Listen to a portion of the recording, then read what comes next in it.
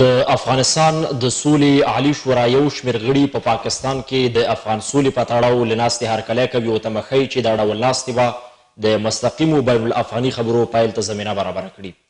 د افغانستان د سولې د عالي شورا د رهبرۍ شورا غړی قاضي محمد امین وقاد وایي پاکستان هڅې پیل کړي چې یوه مجهوله او غیر تعریف شوې دښمني په نسبي دوستۍ بدله او د ښه نیت د پیل لپاره په سوله کې کلیدي او رغنده رول ولوبوي. وقات د یکشنبې په ورځ په خبرو کې په پاکستان کې د سولې له ناستې هرکلی وکړ او زیاته یې کړه، له شک پرته پاکستان په افغان سوله کې مرکزي او کلیدي رول ادا کولای شي چې بدیل یې هم نشته. دا په داسې حال کې ده چې د پاکستان پنجاب ایالت د بري بربون تفریح سیمه د افغان سولې او د دواړو هېوادونو د اړیکو د ښه کېدو په هدف د یوې ورځنۍ غونډې کوربه وه. دغه ناستې ته د پخواني ولسمشر حامد کرزي، ګلبدین حکمتیار، حنیف اتمر، عطا محمد نور، محمد موقق، کریم خلیلي او عبدالرشید دوستم په ګډون شاوخوا دېرش افغان سیاستوال وربلل شوي وو. خو د افغان حکومت او وسله والو طالبانو استازي یادې غونډې ته نه وو وربلل شوي. په غونډه کې حامد کرزي او جنرال دوستم ګډون نه و کړی او خپل استازي ورلېږلي وو. افغان حکومت تر اوسه د غونډې په اړه خپل نظر نه دی څرګند کړی. سلام وخت مو په خیر زه احسان تسل یم تاسي دم ګړی له شرق تلویزیون څخه د خبرو اترو د خپرونې کتونکي استۍ نن خپرونه کې پر همدې موضوع باندې تمرکز کوو، د دې مسئلې د لا بحث لپاره مو دلته سټډیو ته بلنه ورکړې د سیاسي مسایلو ځوان شنونکي ښاغلي شریف الله ناصري ته. ناصري صاحب ستړي مه شئ خپرونه کې درته ښه راغلاست وایو. په پاکستان هېواد کې د افغان سولې په تړاو باندې کومه غونډه چې دایر شوې وه ځینې سیاسیون له افغانستانه ورغلي وو، تاسې ناصري صاحب دا غونډه د سولې په تړاو باندې څنګه ارزوئ؟ بسم الله الرحمن الرحیم سلام او درناوی ټول لیدونکو او اوریدونکو ته سولې ته هر هڅه او په هر حالت کې ژمنتیا او تعهد د افغان ملت ستر ارمان ده او د افغانان سولې ته لکه ملارې نه او په کوم موضوعاتو رسیږي دا به برلاسي او کامیابي خو ارادي او نیتونه مهم دي کریکټرونه مهم دي چې آیا سوله چا ته تر څومره بریده پورې ارزښتمنه ده؟ ایا په سوله معامله کیږي؟ او که رښتیا هم دا خلک او دا تللی پلاوی همدومره جرئت او همدومره توانمندي لري او په کاملا ښه توګه باندې کولای شي چې د ولس او د سولې د راوستو لپاره منځګړتیا او نمایندګي وکړي او که پر دې لاندې به نورې خبرې هم وي لومړی دا چې دغه اشخاص چې کله اوس فعلا تللي دي پنجاب ته لاهور ته او د دوی په بلنه باندې ورغلي. تر دې یوه نیمه یا دوه میاشتې وړاندې کابل هم د سولې د یوې سترې جرګې کوربه و چې دلته ټول افغان ولس، د افغان ولس استازي په یوه ارمان، په یوه کاملاً افغاني اراده باندې راټول شوي وو او پرېکړه دا وه چې ولسمشر خبرې هم تاسې واورېدې چې ما جرګې تاسو ته سپین چک درکړی ته ممکن تاسو دیو رسنوال په توګه د ولسمشر د پرانیز د پرانیستي وینا او د بیا بیرته د اختتامي وینا دواړه خبرې اوریدلې او پرتله کړې وي بدبختانه دغه خلک چې نن په لاهور کې ملمانه دي او د سولې په ادعا لري چې د سولې په خاطر باندې او د سولې په نیت تلي دالته یو هم ګډونوال نه د ټول ولس اراده د ټول ولس غوښتنه همدا وه چې دی برازي د سولې په مشورتي لویه ملي اجماع کې به ګډون کوي او د افغانستان د روان بحران لپاره به د مناسبه حل لار لري بدبختانه چې په مکررو غوښتنو او تقاضاګانو نه چې دوی نه وسولې حاضر نه شول او ګډون یې ونه کړ نه پوهېږم په دا دا منو چې د د سولې او د جګړې کلی په بل پنجاب یا د اسلام آباد یا د آیسل پالیسی میکرانو سره خو په دې باندې هم تر اوسه پورې موږ سر خلاص نسو چې دغه خلک څه د هغه وخت د ډاکټر شهید ډاکټر نجیب الله دی د د کړکیچ د وخت ژوندې بیلګې او تاریخونه او کریکټرونه دي دوی ولې همیش اسلام آباد ته په یو سترګک باندې حاضري زه نه پوهېږم چې دلته کم رمز او راز د دې خلکو ترمنځ پروت ده چې له کعبې نه هم زیات دی اسلام آباد ته معتقد دي او او په رښتینې مانا څه دوی په کعبه کې په هغه وخت کې جوړ نه شول، قسمونه یې وکړ سره او بیرته چې راغلل د اسلام اباد په اشاره یې بیا وطن وران کړ، ایا جګړه د همدې دوو بودونو تر منځ ده چې دا هلته ناست دي که د جګړې کاملا لوری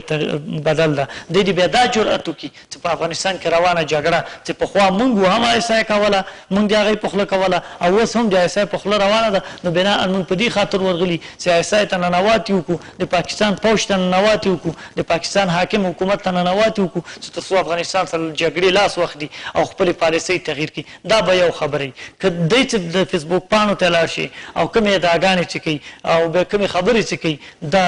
له دغومره ژمنتیا او تعهد سره سر نه خوري لکه څنګه چې توقع او تمه کېږي. افغان بین الافغاني مذاکرات چې موږ وایو دا افغانستان ته يوه ته لاسته راوړنه راوړلای سي موږ سوله سعيد له اسلام اباد نه سوله غواړو خو د جرګو ټاټوبی تاسو به بېګاه د محکوم افغانستان د قومي سياستدان افراز صاحب خټک څرګندونې اورېدلي چې دوی ويلې چې جالبه دا ده د جرګو کور کابل ده د جرګو او مرکو کور کابل ده، تاریخ ثابته کړې ده چې هره معضله چې د افغانستان او د سیمې په کچه شوې، په کابل کې خلک جرګه شوي، خو نن د افغانستان یو شمېر غولېدلي سیاسیون راغلي له اسلام اباد نه همدې مسله کې پاتې کېږو، ناصري صاحب لومړی وار نه ده چې په اسلام اباد کې دغه غونډه دایرېږي، تر دې وړاندې په مسکو کې هم دغه ډول غونډه شوې وه او له افغانستانه سیاسیون ورغلي وو، پوښتنه مې په دې ډول ده چې دغه ډول ناستې چې کومې په بهرنیو هېوادونو کېږي او افغان سیاسیون ورځي او دغسې غونډې دایرېږي، د سولې له روانې پروسې سره کومه مرسته کولای شي، افغانان سولې ته رسولای شي او که نه؟ دا هماغه یوه خبره ده وایي چې څوک چا کلي کې نه پرېښوده، ده ویل زه له ناوې سره ډوډۍ خورم. اول دغه جګړې یو اړخ چې طالب وسله وال طالب ده دا خو دغه خلک نه مني چې دا په دې مملکتونو ګرځي دروازې ټکوي دا یوازې د سیمو د سیمې استخبارات د خپل نفوذ د تثبیت په خاطر باندې چې خپل رول په سوله کې وخی دنیا ته وخی دا خلک په یو بل دروازه ټکوي او دی چې کله ځي تاسو ولیدل پدرام او عطا محمد نور خان پکې راپاڅېدل د ډیورن خبره یاده کړې چې دا لنډي په سوشل میډیا کې هم راوتې ده او دی هم ترې انکار نه شي کولی او نن تاسې دغه مسله خو د افغان سولې په تړاو باندې هم نه راڅرخېږي هغه سره هېڅ تعلق نه لري ولې دغه ډول څرګندونې کېږي دا ټول جاسوسان دي دا اجنبي پردي خلک دي دلته احسان صاحب تسل صاحب تاسې وګورئ د تاریخ تجربه تکرارېږي افغان مېړنی ولس باید بیداره اوسي او په دې باندې وپوهېږي چې کله د شهید ډاکټر نجیب الله د وطن د ملي روغې جوړې په نامه جبهه جوړه کړه همدغه رقم نارې والې چې راسئ د کابل تاسو واخلئ زه به کابل تاسو ته در وسپارم تاسو په کا د خپل حکومت جوړ کړئ دغه اردو د تاسو ده د دغه اردو کې تاسو بچیان ولاړ دي دغه تاسیسات د تاسو دي دغه تجهیزات د تاسو دي بدبختانه چې د دې په د دې فکر دا چې مونږ به کابل دلته کوم کفار راغلي تاسو کمونستان استئ دا خاور جوټه سوي ده مونږ به کابل په سرو وی اورونو باندې مینځو دا به پاکو اردو لمنځه راړه د اردو تاسیسات ختم سول د منګه څومره تجهیزات د اردو سو دا په پاکستان باندې وپلورل شول بدبختانه امغه تاریخ او امغه تجربه تکراریږي امغه سیری او امغه کریکټرونه دي خو مګر ولسته به پکار ده چې بد حافظه له لاسه ورنه کړي او دا د تاریخ بدرنګه او شرمیدلې څیرې ښې وپیژني د افغانستان دا د افغانستان د غرور سوداګر دي دا د افغانستان د عزت سوداګر دي دا د افغانستان په سر باندې معامله ګر دي دی دا اوستلي دي چې اسلام اباد ته سجدې د تعظیم کې دي او څنګه کیدلای شي چې په راتلونکو ټاکنو کې خپله برخه ونډه تضمین کړي او پاکستان ته دا وښي چې مونږ خو یې تا مغه پخواني شاګردان یو خیر ده که دا دومره وخت هم درسره وو مستقیمې اړیکې مې لیدلي پاکستان ته درلوده په ناسته کې ګډون وکړو ستاسې په شخصي نظر باندې مطلب له دغه سفر نه د سیاسیونو څه دی؟ د سیاسیونو او د بادارې بادارې غواړي چې افغان حکومت تر یو ډول نه یو ډول فشار لاندې راولي چې دا خلک چې د سپین پنجابیان دي په کابل کې ناست دي د دوی په وساطت باندې د پنجاب فشار د پنجاب غوښتنې د پنجاب خبرې موږ خو پاکستان سټیټ نشو ویلی که هغې ته جمهوریت وایو دا د خپل ځان سره ظلم کوو موږ مجبور یو چې د پنجاب ریاست وایو د پنجاب د ریاست غوښتنې دلته تطبیق کی او د دنیا او استخباراتو ته دا وخی چې پاکستان دومره نفوذ لري چې د افغانستان په موجوده نوماندانو کې د ولسمشري نوماندانو کې لس پنځلس کسان زی الته او پاکستان نه سوله غواړي بله آیا اوس مهال پاکستان غواړي چې په افغانستان کې د سوله رامنځته شي پاکستان هیڅ وخت نه غواړي خو پاکستان ځینو مجبوریتونو ته ولاړ ده که موږ خپل افغانۍ غرور له لاسه ور نه کړو او ډېر پاکستان ته په پښو کې ونه غورځېږو نوره دنیا پاکستان سره په افغانستان کې جګړه نه مني پاکستان څه پاکستان نور مجبوریتونه لري اوس پاکستان د امریکې نه مجبوره ده پاکستان د سیمې له هېوادونو نه مجبوره ده پاکستان خپله دومره اقتصادي کړکېچ او بحران کې داخل شوی چې پاکستان خپل پوج په خپله غذا باندې هغسې نشي سمبالولی څاکم یوه د دې خپله تابلو ده. د پاکستان اقتصاد په ډېر بد بدترین حالت کې ده. پاکستان هره ورځ په اربونه روپۍ یوازې د سود له وجې له بانکونو نه قرضداری کېږي. پاکستان د اقتصاد په خړ لست کې لوېدلی. د پاکستان ورځ تر بلې صنعت په صفر کې ده. مارکېټ خو بیخي هغسې حالت ته د بدنامۍ رسېدلی. غیر له افغانستان نه یې په شاوخوا کې ټول خودکفا هېوادونه دي چې پاکستان ته هېڅ اړتیا نه لري. پاکستان د امریکې او د امریکې د متحدینو د یو شمېر فشارونو له لاندې ده چې په دې باندې پوهېږي چې پاکستان اوس د ترهګرۍ په لوبه کې دومره رسوا او ربي شوی افشا شوی چې حتی په دنیا او په خصوصا د سیمې په هېوادونو کې که یو ماشوم نه هم پوښتنه وکړي القاعده تا ته به وایي چې یعنې اسلام آباد پر پاکستان باندې دغه فشارونو ته په کتلو سره ناصري صاحب دا ځل د پاکستان رول ته په کوم نظر باندې ګورئ یو رښتینی ګام به د افغان حکومت سره واخلي او که وبه نه پاکستان به په هر حالت کې چل کوي پاکستان به د ګډي پران د بازۍ غوندې لږ لږ تار پرېږدي چې تر څو پورې خپل ژوند تضمین او بقا کی اما دلته د موږ ښه مدیریت ته هم اړتیا ده دنیا پې نوره پوه شوي موږ هم په پخواني حالات کې نه یو چې دلته به پنځه قومندانان د موږ د فوج نمایندګي کوي د موږ د اقتصاد او د موږ د ملک د مملکت نمایندګي به کوي په مقابل کې موږ هم لله الحمد خود کفا سوي خپل پرمختللی اقتصاد لرو د دنیا سره خپل مستقیمې اړیکې لرو خپل غښتلې پیاوړي ملي او امنیتي او دفاعي ځواکونه لرو چې اردو، پوځ، پولیس، امنیت دا ټول د دې نه عبارت ده. موږ اوس په هغه حالت کې نه یو لکه کوم خوب چې پاکستان شل کاله یا پنځه ویشت کاله وړاندې لیده چې کرنیلانو به یې له دې جنه شخصي قومندانان وغوښتل لکه دا اوس چې غوښتي او د سولې په اړه به ورسره یا د افغان ملت په سرنوشت به خبرې ورسره کوي. پروس شل کاله وړاندې دلته رسنۍ نه وه، شل کاله وروسته دلته د په دې کور کې په دې هېواد کې د تا غوندې یو ځوان په نېکټایي کې د دنیا له احوال نه خبر یو ایجوکېټېډ ځوان ناست ده د خپل هېواد په سرنوشت باندې خبرې کوي ولې موږ به هغه وخت کې یوازې وحدت او شهادت اخبارونه کتل موږ کومه برخه درته راوخلو چې په هغه حالت کې نه چې کومه توقع پاکستان لري که پاکستان په دې حالت کې او دا خلک هم په دې نیت غوښتي دا یو خیال دا خوب ده او دا خوب د کراچۍ سمندر ته وایي نن موږ خود کفایو نړۍ سره اقتصادي سیاسي، نظامي او خودمختاره اړیکې لرو او دوی به که له موږ سره خبرې کوي، پاکستان به دا ځل موږ ته عملي نتیجه ښيي. د هرو مذاکراتو، د هرې ناستې، د هرې هوکړې دا به نه کېږي چې د دېوال تر شا به خبرې، پاکستان به یوازې په رسنیزو اعلامیو باندې خلاصېږي او پاکستان هم دا منلې چې نور زه له خپل یو سیاسي حریف او سیال سره مخاطب یم او دنیا د ناظرینو په توګه راته متوجه ده. پاکستان نور د ترهګرۍ په لوبه کې افشا شوی، پاکستان خپل حیثیت بایللی، پاکستان په دې پوهیږي چې د دنیا ټول تورونه د افغانستان د جګړې سربیره په ایران کې چې ټک ټوک کله د بلوڅانو له خوا راپرغ په دې نامه پیښیږي، په کشمیر کې د روانې جګړې، حتی په بنګله دیش کې تر تر تر برما پورې د پاکستان منحوس او تور کرغېړن لاسونه رسېږي چې د بله هېوادونو په داخل ایا کې د ګوتې وهي. افغانستان د سولهې کیلي له پاکستان هېواد سره ده؟ که څه هم تاسې په خپلو خبرو کې پاکستان ته مخ ډېر وراوړ. د جګړې کیلي د پاکستان سره ده. کله چې جګړه پاکستان جوړه کړي، کله چې جګړه پاکستان سپورټوي، کله چې جګړه پاکستان پړسوي، نو بناً داسې کېدلای شي چې د نړیوالو فشارونو په راتګ او وساطت باندې کېدلای شي چې پاکستان ته د سولې یو مهم رول دا ولوبي چې هغه کوم کسان چې د ده له خلکو سره د ده له نظامي ذمهوردارانو سره ناست دي هغو باندې بندیز ولګېږي هغه یې کنټرول کړي دلته خپل وضعیت یعنې د افغانستان جګړه یو شمېر شنونکي چې وایي نورو نړیوالو هېوادونو رامنځته کړې ایران ته موږ وتنیسي روسیې ته هم ګوته نیسي امریکې ته هم یو شمېر په دې نظر دي ګوته نیسي هغوی یعنې نه ده رامنځته کړې پاکستان پکې ډېر دخیل ده دوی رامنځته کړې. جګړه ځان ته عامل لري جګړه خپل ځان یوازې په سوکانو نه وهل کیږي یو څوک چې جګړه کوي مخاطب به لري دلته د جګړې بعدونه زیات دي ولې زیات او تر ټولو غښتلی قوي رول او تر ټولو قدامت څه لري د افغانستان د څلوېښت کلنې پنځه څلوېښت کلنې جګړې اصلي کراړي څه ده پاکستان ده هغه وخت کې یوازې امریکا اقتصادي سپورټ د خپل سیال او حریف لپاره کاو تر هغه وروسته قوي او غوښنه برخه پاکستان په غاړه لري پاکستان د خپل نامشروع نوم او د نامشروع قلمرو د بقا په خاطر باندې د افغانانو وینې تویي د افغانستان کې جګړه روانه ساتي او د کې د پاکستان خپل ژوند لپاره سترګې اچي خپل ژوند په دې کې ګوري چې د ټول زیات مسؤلیت پاکستان ته راځي کیږي د ده د اقتصاد د خرابېدو ستر لامل هم دا جګړه ده. پاکستان په هغه سټېج کې نه ده چې دا د جګړې تمویل کړي. که امریکا جګړې تمویلوي، که امریکا جنګونه کوي، هغه خپل یو پراخ اقتصاد لري، هغه د اقتصاد د ټولې دنیا د کچې له پنځوس سلنې نه اړی، پاکستان، امریکا په هغه حالت کې ده. ده ویل، دی د زرکې ماهر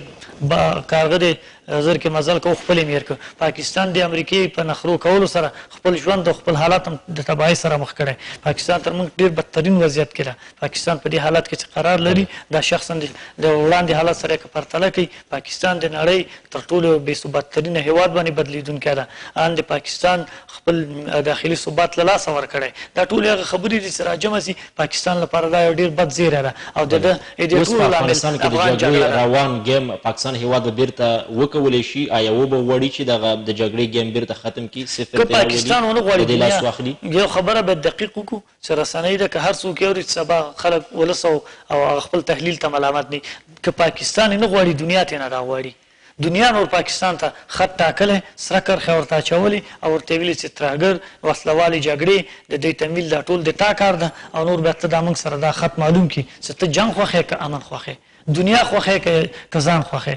یوه باثباته سیمه خوښوې که جګړه خوښوې. پاکستان دنیا ته دا جواب نسي ورکولای دا ضرورت لري او بل د خپل اقتصاد ورځ تر بلې بدتریدو کې هم دی په دې سوچ کې ده چې باید نسبتا یوه ساه واخلي پاکستان هغه په جال او تزویر رامنځته سوی مملکت ده چې هیڅ وخت کې به رښتینی ګام تا سره وانخلي دلته د موږ ښه مدیریت ته هم دا پکار ده دغه اقتصادي ستونزې چې پاکستان ته مې اوس ولیدلې ورسره مخامخ دی ولې په تېر کې دغه مشکلات او ستونزې دوی نه لیدلې او که له نړیوالو هیوادونو مخکې هم دوی مرستې ترلاسه کولې ولې اوس په دوی باندې دغه مرستې بندې شولې آیا مخکې نړیوال هیوادونه په دې نه پوهېده چې مخکې نړیوالو هیوادونو مخکې نړیوالو هیوادونو پاکستان د یو رابط هیواد په توګه کاروه هر څه راتله دته پاکستان یوازې د افغان او روسي جګړې د جهاد په مسلو دومره پند ک دومره سرب ک لکه د سربودې میخه چې تر اخره پورې ترې نه استفاده کوله. کله چې امریکې دلته خپل حضور پیدا کړ، پاکستان له منځه ووت. دلته مستقیماً تا سره مرستې کېږي د پاکستان له خوا، د امریکې له خوا. دلته هر څه ته په اول لاس اخلي. پاکستان په خپلو عوایدو باندې دومره متکي او خودکفا نه ده.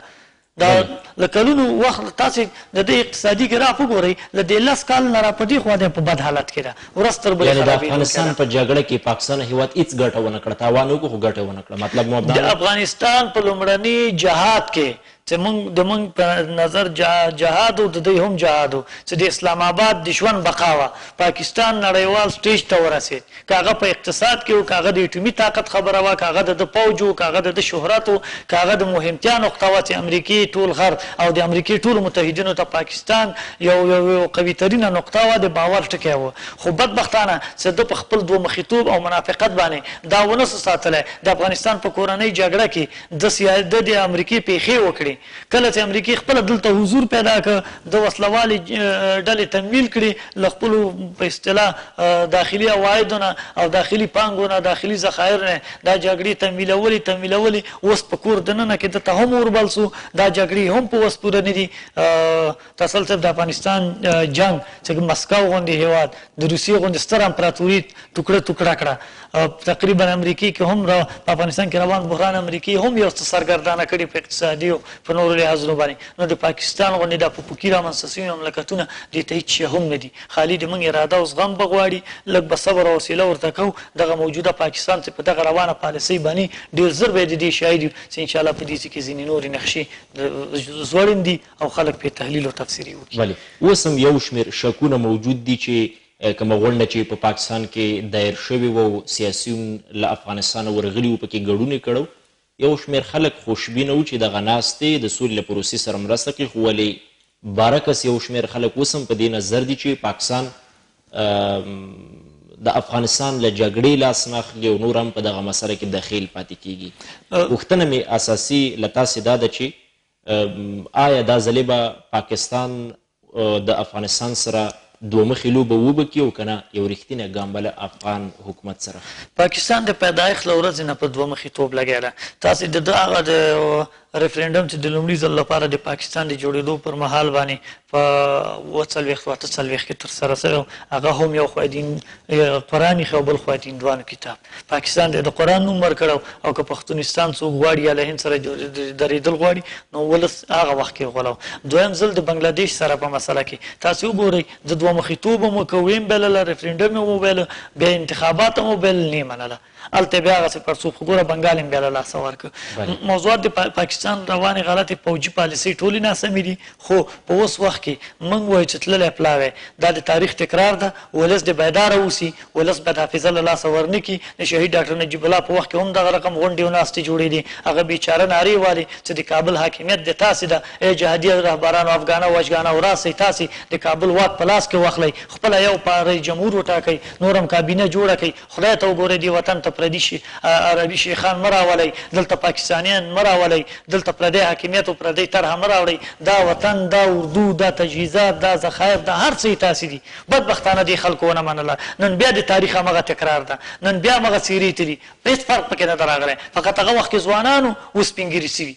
تاسې ټول ګورئ، همغه څېرې بیا په همغه لاهور او همغه پنجاب کې ناست دي او د پاکستان خبرو ته یې غوږ ایښی، دی کومه طرحه راوړي، دی سره کوم واک ده، دی سره کوم دولتي پلاوی تللی، دی په کومه مشخصه اجنډا تلي، د سولې په مسله کې د ډیورنډ څه دي، چې مالې ماتا او هغه فدرام پاڅېږي او وایي چې نور باید د د ډیورنډ مسله یو طرفه سی حل سی دا د ملتونو خبره ده دا نه د ولسمشر خبره ده نه د دغسی مزدور پلاوی خبره ده په دی باندی هیڅوک حق نه لری چی په دی سرنوشت خبره وکی خاوره ناموس ده څوک چی په خاوره باندی سودا کوی هغی په ناموس سودا کوی موږ بناء د دغه څرګندونو په حساب نه یواز داسی غندوی احتجاج کوو دا پلاوی باید هلته د افغان غرور مغرور ملت په غرور باندې لوبه ونه کړي دا د افغانستان د ولسونو او د ملت خبره ده دلته به د افغانستان عزت باندې سودا ونه سي پلاوی تله پلاوی د دې خپل خلک دي هیڅ څوک افغانستان ته پکې ژمن راته نه ښکاري څه پخواني او څه نوي سپین او تور پنجابیان یو جناز دی په لاور کې او د افغانستان په عزت او سرنوشت باندې خبره کوي پاکستان هم پر خپل پخوانی دریځ باندې ټینګار وکړي او دغه دوه مخې لوبې نه دا ځل استفاده وکړي د یو سیاسي شنونکي په توګه باندې د افغان حکومت ته مشوره څه ده چې دوی باید خپل دریځ کې څنګه باید پیاوړي واوسیږي او امادګي باید موږ هیڅ هغه خبرې موږ هیڅ هغه خبرې چې د افغانستان له قلمرو نه بیرون کیږي او بیا بالخصوص په اسلام آباد په مسکو په تهران په دې ځایونو کې خو موږ د د نظام په سر باندې په هیڅ کې معامله نه منو موجوده نظام د موږ سره کرښه ده دا د افغانستان د ملت په رایو او په خولو رامنځته شوی نظام ده پوج د سیاسي حاکمیت قلمرو دا ټول مجموع کې او حکومت دا د نظام په بشپړ دی دولت دویم نوم نظام ده موږ د نظام په سر معامله نه منو سولې ته هر کله کوو دغه سي اجنډا د مشخصه سي حکومت دي د هغه طرز العمل مطابق چل چلنو کې مارتلې سوله منګه ټول ارمان جنې تیم ارمان جنې زیم ارمان جنې بل افغان ارمان جنې د خدای له اسمان نه راغورځي زمکه چوي راوځي په غرونو راوړي په سیندونو راځي منګه هر کله کو ولې سوله د عطا محمد نور د حکمتیار صاحب د د د پدرام او د د د کرنل زمیر او کرنل افتخار په جوبونو کې هم نه ده چې د افغان حکومت د خلک تاسو سوله راوړي د منلو وړ درته ده که هر څوک واقعي او رښتيني سوله راوړي موږ ته قابل دي منلو ده ولې سوله ته موږ وايو که واقعي سوله چې د افغانستان او غرور او عزت هغه سوله نه ده چې نجيب الله ته هم ويل کېدله چې موږ د جنيوا د کانفرنس کوم کومه ماده دي خلکو تطبيق کړه نجیب الله سره کې نه ناستل په جنوا کې کې ناستل الته پریکړه وکړه هغه جنوا وتښتیدل او د اسلام آباد نه د